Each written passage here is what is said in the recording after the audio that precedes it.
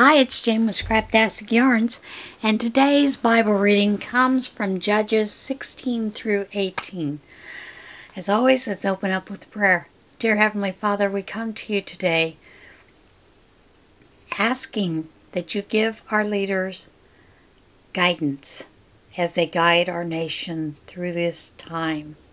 Lord, we ask that you be with them, that you strike upon them the way that you want them to go, Lord. We ask that you bless our leaders, Lord. Sometimes that is hard, that we want our leaders to be blessed in all that they do. Lord, we ask that you once again continue to guide our nation through this terrible time. We ask these things in the name of Jesus Christ. Amen. It's getting tough out there, guys. I know you guys know it. And I know the lighting is a little off. Can't be helped. It's because of time of day. Now we get into Samson and Delilah. Samson went to Gaza, and there he saw a prostitute, and he went in to her. The Gazites were, Samson has come here, and they surrounded the place and set an ambush for him all night at the gate of the city. They kept quiet all night, saying, Let us wait till the light of the morning, then we will kill him. But Samson lay till midnight. And at midnight he arose and took hold of the doors of the gate of the city, and the two posts, and he pulled them up, bar and all and put them on his shoulders and carried them to the top of the hill that is in front of Hebron. After this he loved a woman in the valley of Sorek, whose name was Delilah. And the lords of the Philistines came upon, came up to her and said to her, Seduce him and see where his great strength lies, and by what means we may overpower him that we may bind him up to humble him, and we will give each we will give each we will each give you 1100 pieces of silver. So Delilah said to Samson, Please tell me where your great strength lies, and how you might be bound, that one could subdue you. Samson said to her, They bind me with seven fresh bowstrings that have not been dried, then I shall become weak and be like any other man. Then the lords of the Philistines brought up to her seven fresh bowstrings that had not been dried, and she bound him with them. Now she had men lying in ambush in the inner chamber. And she said to him, The Philistines are upon you, Samson.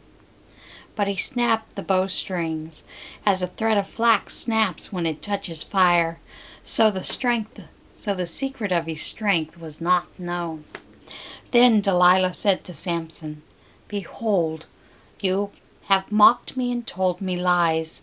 Please tell me how you might be bound. And he said to her, They bind me with new ropes that have not been used. Then I shall become weak and be like any other man. So Delilah took new ropes and bound him with them and said to him, The Philistines are upon you, Samson. And the men lying in ambush were in the inner chamber inner chamber, but he snapped the ropes off his arms like a thread. Then Delilah said to Samson, Until now you have mocked me and told me lies. Tell me how you might be bound. And he said to her, If you weave the seven locks of my head with a web and fasten it tight with a pin, then I shall become weak and be like any other man. So while he slept, Delilah took the seven locks of his head and wove them into the web. And she made them tight with the pin and said to him, The Philistines are upon you, Samson. But he awoke from his sleep and pulled away from the pin, the loom, and the web.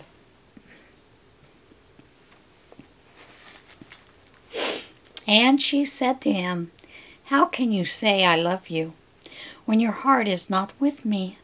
You have mocked me these three times, and you've told me, you have not told me where your great strength lies, And when he pressed him hard with her words day after day and urged him, his soul was vexed to death. And he told her all his heart and said to her, A razor has never come upon my head, for I have been a Nazarite to God from my mother's womb. If my head is shaved, then my strength will leave me, and I shall become weak and be like any other man. When Delilah saw that he had told her all his heart, she sent and called the lords of the Philistines, saying, Come up again, for he has told me all his heart. Then the lords of the Philistines came up to her and brought the money in their hands. She made him sleep on her knees. And he called a man and had him shave off the seven locks of his hair. Then she began to torment him, and his strength left him. She said, The Philistines are upon you, Samson. And he awoke from his sleep and said, I will go, go out as at other times and shake myself free. But he did not know that the Lord had left him. And the Philistines seized him and gouged out his eyes, and brought him down to Gaza and bound him with the bronze shackles. And he ground at the mill in the prison, but his hair of his head began to grow again after it had been shaved. Now the lords of the Philistines gathered to offer great sacrifice to Dagon their god and to rejoice. And they said, Our God has given Samson our enemy into our hand. And when the people saw him, they praised their God, for they said, Our God has given our enemy into our hand, the ravager of our country, who has killed many of us. And when their hearts were merry, they said, Call Samson, that he may entertain us. So they called Samson out of the prison, and he entertained them. They made him stand between the pillars, and Samson said to the young man who held him by the hand, let me feel the pillars on which the house rests, that I may lean against them. Now the house was full of men and women. All the lords of the Philistines were there, and on the roof there were about three thousand men and women who looked on while Samson entertained.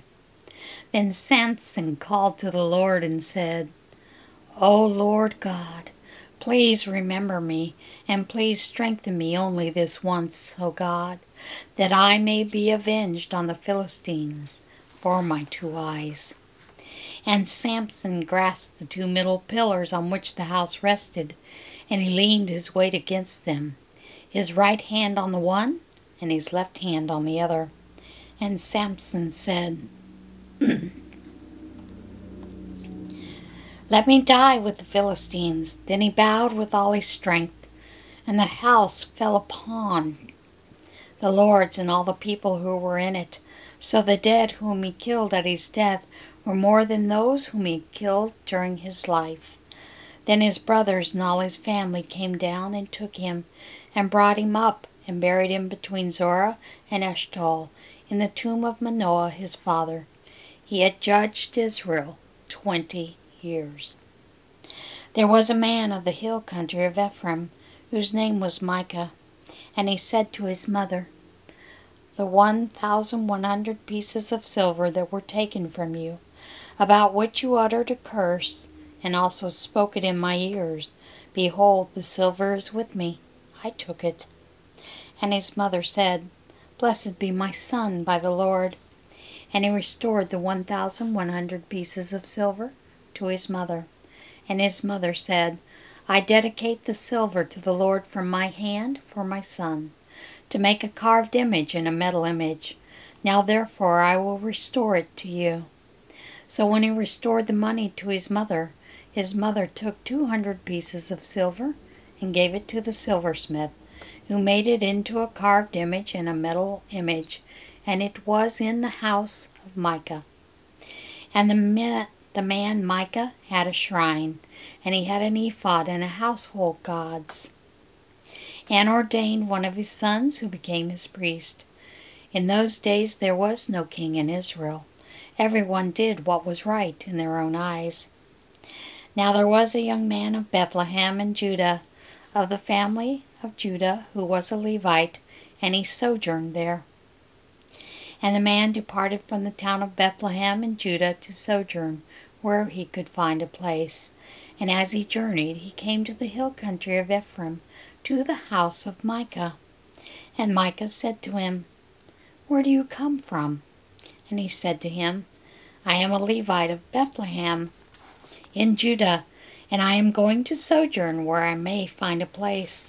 And Micah said to him, Stay with me and be to me a father and a priest, and I will give you ten pieces of silver a year, and a suit of clothes, and your living, and your living. And the Levite went in, and the Levite was content to dwell with the man, and the young man became to him like one of his sons. And Micah adorned the Levite, and the young man became his priest, and was in the house of Micah. Then Micah said, Now I know that the Lord will prosper me, because I have a Levite as a priest. In those days there was no king in Israel.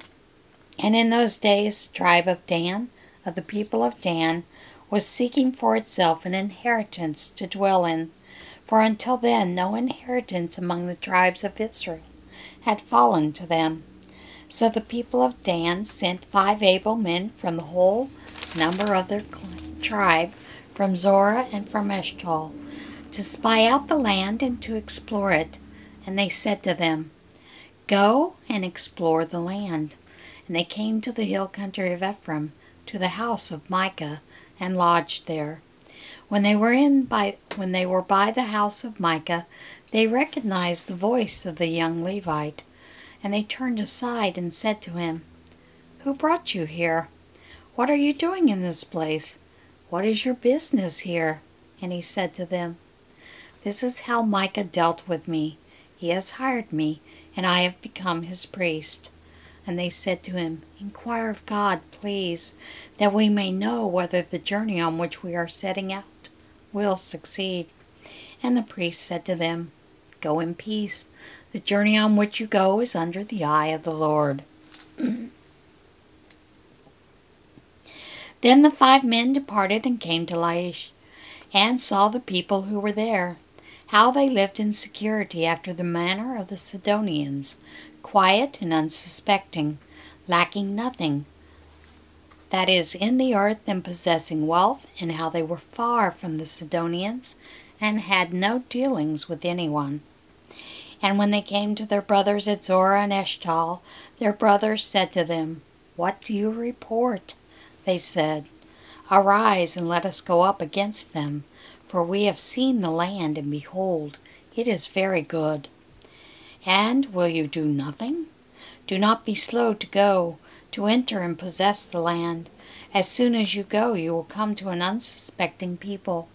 The land is spacious, for God has given it into your hands, a place where there is no lack of anything that is in the earth.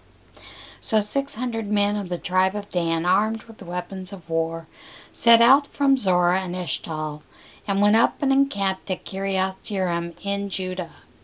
On this account that place is called Mahaneh-dan. To this day, behold, it is west of Kiriath Jearim. And they passed on from there to the hill country of Ephraim, and came to the house of Micah.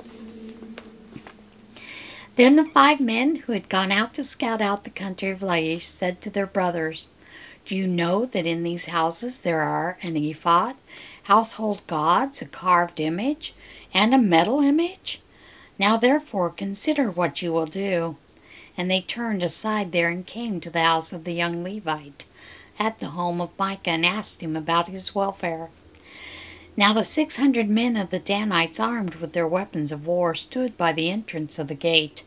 And the five men who had gone out to scout the land went up and entered and took the carved image, the ephod, the household gods, and the metal image, while the priest stood by the entrance of the gate with the six hundred men armed with weapons of war. And when these went into Micah's house, and took the carved image and the ephod and the household gods, and the metal image, the priest said to them, What are you doing? And they said to him, Keep quiet, put your hand on your mouth, and come with us, and be to us a father and a priest. Is it better for you to be a priest to the house of one man, or to be the priest to a tribe and a clan in Israel. And the priest's heart was glad. He took the ephod and the household gods, the carved image, and went along with the people. So they turned and departed, lifting the little ones and the livestock and the goods in front of them. When they had gone a distance from the home of Micah, the men who were in the houses near Micah's house were called out, and they overtook the people of Dan. And they shouted to the people of Dan, who turned around and said to Micah, What is the matter with you that you come with such a company? And he said, You take my gods that I made and the priest and go away, and what have I left? What have I left? How then do you ask me, What is the matter with you? And the people of Dan said to him, Do not let your voice be heard among us, lest angry fellows fall upon you, and you lose your life with the lives of your household. Then the people of Dan went their way, and when Micah saw that they were too strong for him, he turned back and went to his home.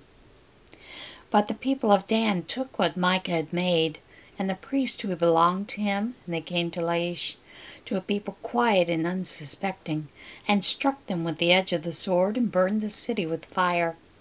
And there was no deliverer, because it was far from Sidon, and they had no dealings with anyone. It was in the valley that belongs to Beth Rehob. Then they rebuilt the city and lived in it, and they named the city Dan after the name of Dan their ancestor, who was born to Israel. But the name of the city was Laish at first, and the people of Dan set up carved images for themselves.